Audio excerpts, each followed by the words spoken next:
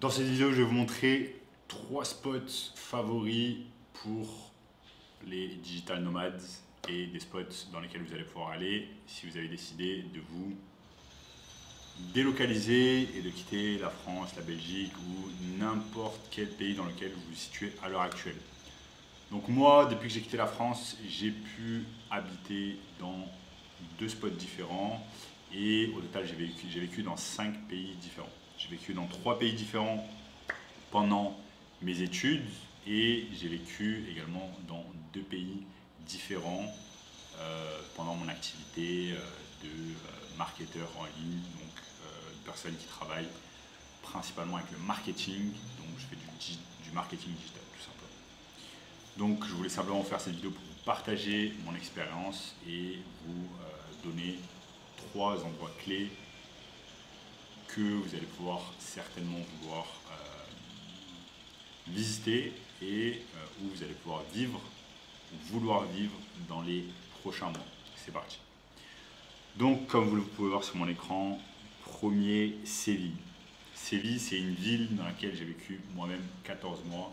C'est une ville qui est super plaisante. C'est une des villes les plus chaudes en termes de météo, en termes de degrés, une des villes les plus chaudes euh, d'Europe. Il fait extrêmement beau la majorité du temps. Il fait super beau. Euh, mais en été, il fait extrêmement chaud.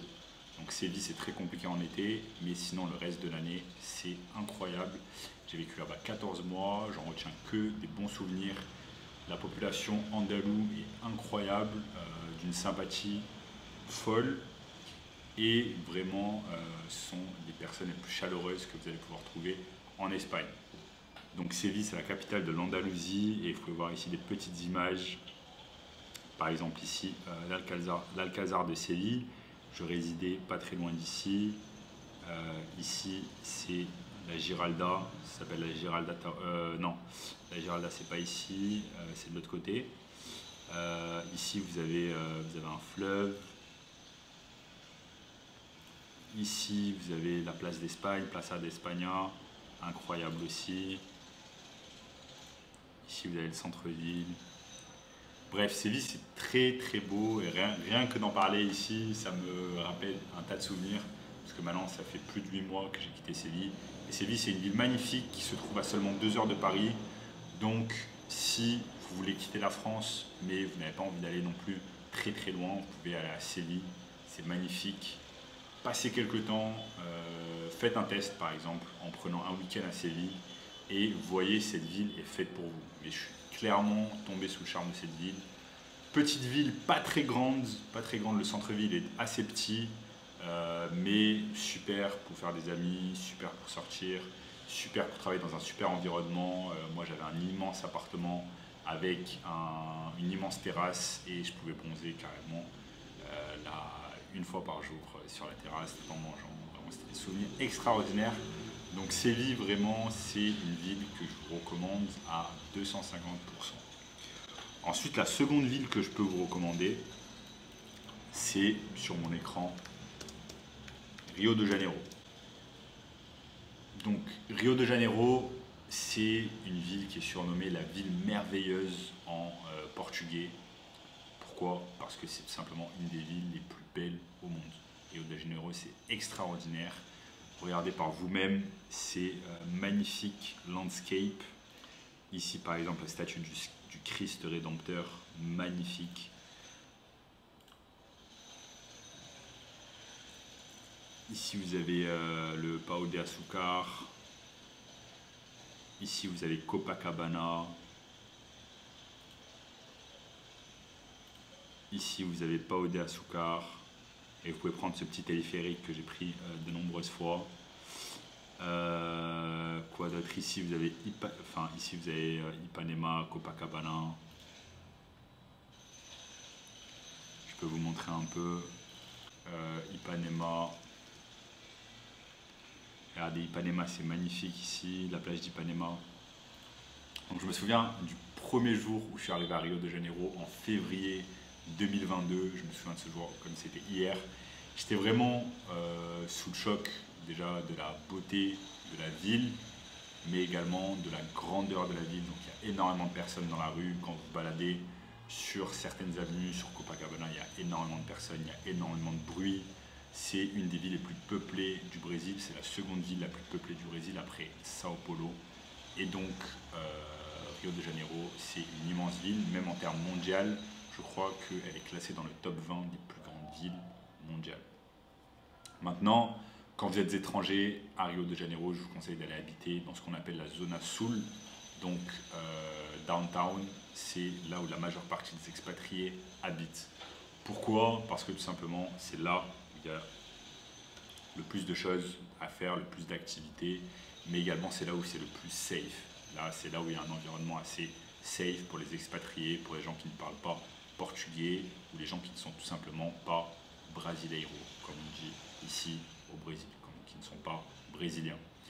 Pourquoi? Parce que la culture est assez différente. Quand on ne connaît pas, quand on commence, ça peut être assez intimidant de venir ici habiter à Rio de Janeiro.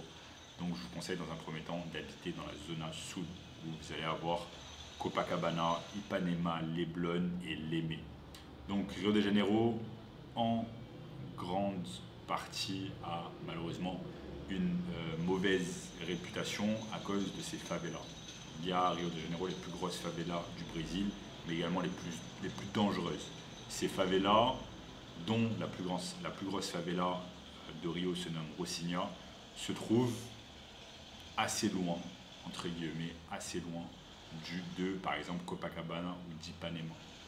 Bien que vous pouvez apercevoir à l'œil nu euh, une partie de, cette favela, vous allez mettre en voiture euh, peut-être 20 minutes à y aller. Et à pied, encore plus. Vous allez mettre peut-être 2 heures à y aller à pied.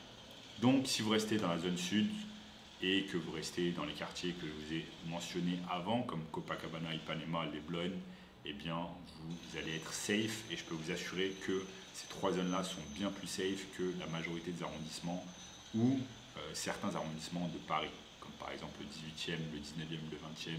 Eh bien, ici, c'est beaucoup plus safe.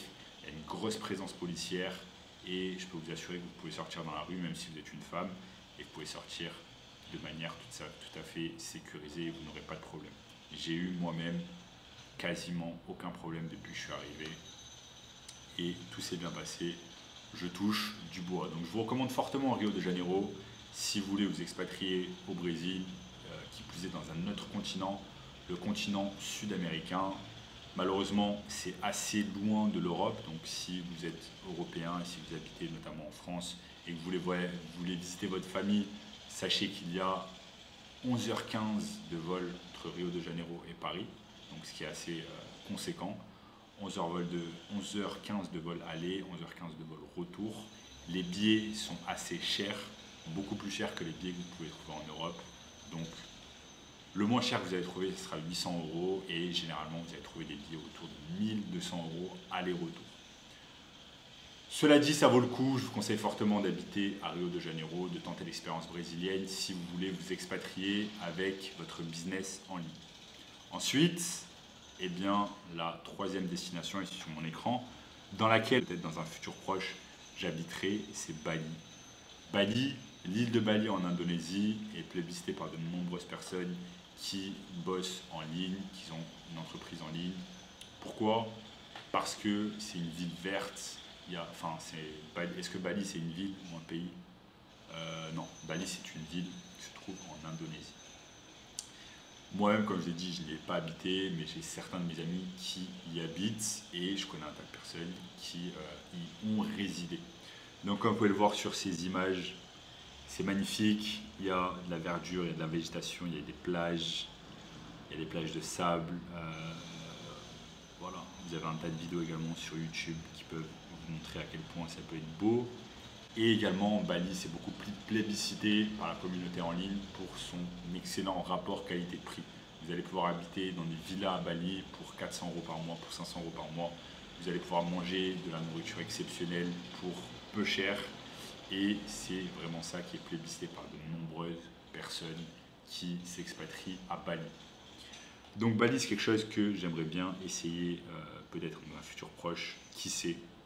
C'est possible, mais quand je vais sur Google Images et que je regarde ces landscapes incroyables, ces piscines à euh, ne plus en finir, c'est juste incroyable. Donc Bali, c'est vraiment quelque chose qui donne envie et je vous recommande fortement Bali comme troisième destination. Donc, si vous avez envie de vous expatrier, vous pouvez tenter le coup sur ces trois destinations. En attendant, si vous si vous vous posez la question comment voyager tout en gagnant de l'argent et tout en ayant une entreprise en ligne, je vous conseille fortement de regarder le workshop juste en dessous. Il nous reste quelques places disponibles qui va vous montrer le moyen le plus rapide et simple de pouvoir gagner de l'argent en ligne en 2022. En attendant les amis, je vous dis à très bientôt.